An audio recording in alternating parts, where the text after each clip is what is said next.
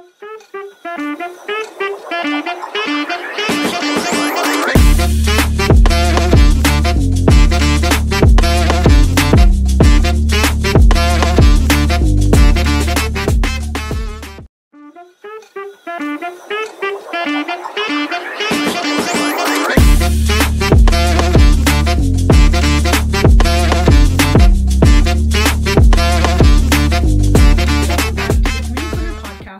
Finance Edition. I'm Rashmi, joined by my co host, as always, Olivia.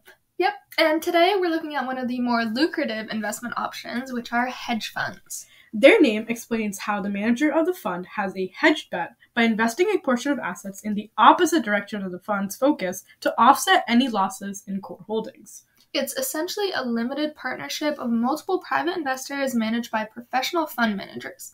And usually, institutional investors invest in this type of fund since it can charge higher fees than conventional funds. Yeah, and it's not even surprising that some of these hedge funds require a high minimum investment or a large net worth to even be eligible to be part of one. They're for the wealthy, which is all right because we are going to become the wealthy. That's a great mindset. Well, at least the cost usually pays off, since these funds are dedicated to achieving above average returns. They leverage high value assets and invest in derivatives, which are financial contracts also set on underlying assets or a benchmark like commodities. There's actually a really interesting method used to decide what fees apply to investors depending on the success of hedge funds. The 2 and 20 concept, which incentivizes managers to maximize returns to increase performance fees, but is somewhat of a safety net for investors at the same time. Yeah, so there's the initial 2% management fee, and then usually a 20 perfor- 20% performance fee out of all profits if the hedge fund turns out to be successful. But if it's not, there is no second fee. So it seems like a win win scenario for investors since the hedge fund managers are extra incentivized to make a large profit since that increases their earnings as well, meaning investors are likely to be successful, and if they're not successful, they can expect not to be charged extra though it is worth mentioning that a 2% management fee is somewhat high already. Mutual funds usually falls up to 1.5%, but it's to be expected since hedge funds are often managing much higher value assets. Yes, and there are multiple types of hedge funds with different investment goals based on the type and what assets they contain. We'll just focus on the most common four types though. So, global macro hedge funds are actively managed, attempting to profit from broad market swings. This could be a large economic or political event, such as a presidential shift, that investors can expect to change policy on certain mar- markets that will impact profit. An equity hedge fund, which can be global or national, invests in lucrative stocks while hedging against downturns in equity markets by shorting overvalued stocks or selling indices. They essentially take advantage of mispriced stocks as a safety net for if lucrative, which means often volatile as well, stocks end up being in a downturn. Relative value hedge funds exploit temporary differences in prices of related securities, taking advantage of price or spread inefficiencies. They focus on making the most profit possible by identifying possible gains in the current market. And activist hedge funds invest heavily in businesses and take actions to boost stock the price they have invested in. Basically, the fund takes a large amount of shares in the company, then uses that ownership as leverage to enact changes in the firm's management they expect to make profit off of. And all of these fund types are considered illiquid assets, with the end gains being the incentive for investing. Right. In spite of the high fees and hurdles to being part of one of these funds, they do manage some $4 trillion for wealthy investors across the world, with over 30,000 funds existing. And 65% of these funds are in the United States. And while each may have different strategies based on the specific group, there are a few common investment strategies for hedge funds. One of these strategies is actually originated from Alfred Winslow Jones, who established the world's first hedge fund. It's called the long short strategy, where investors go long and short on competing companies within the same industry.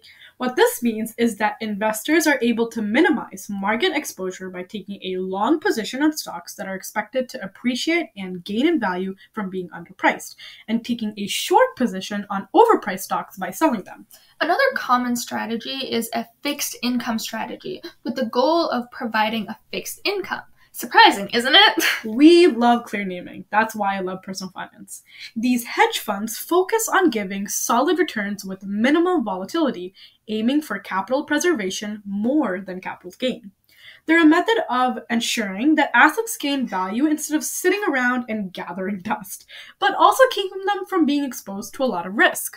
It's the safer strategy for hedge funds. What seems most risky to me are event driven strategies, which take advantage of stock mispricing based on recent events. These funds take action based on current economic scenarios and look to gain profit from mispriced stocks. It does seem like a dangerous investment, highly dependent on the idea that the expected results from economic events happen. But we do know that all that matters in the end is the long run success, and hedge funds can be very successful. Yeah, one of the top US hedge funds is Bridgewater Associates, which has $124,317,200,000 worth of assets under its management. Silly enough, its headquarters are in Westport, Connecticut. It was founded in 1975 and has a strategy focused on investing in pure alpha and pure alpha major markets, and an all weather strategy focusing on asset allocation. These strategies involve predicting macroeconomic trends with computer models and then managing securities accordingly. It works with an average annual return of 13%. That's not the only way that hedge funds are successful, though. Renaissance Technologies has 106 billion, 26 million, 795,239 dollars worth of assets under management. This company also uses models, specifically mathematical and statistical ones, as the basis for investment strategies. It has one of the best track records in history for the medallion fund run for employees under the company, too. Yeah, and a cool aspect of this is that hedge funds is that their investors can be pension funds or insurance companies that can have positive impacts on more everyday people, not just the ultra rich who invest directly into hedge funds. Yeah, and another successful hedge fund is Citadel, which might ring a bell for many of you. Citadel has uh, valued fifty-one billion five hundred seventy-three million seven thousand dollars of assets under its management, usually investing in commodities, credit, convertibles, equities, global fixed income and macro, and global quantitative strategies. While hedge funds might seem somewhat out of reach, it's still interesting to see how they work and succeed for the investors. Though only the ultra rich, accredited investors can directly invest. They use strategies and methods that can be applied by the rest of us as well. Exactly.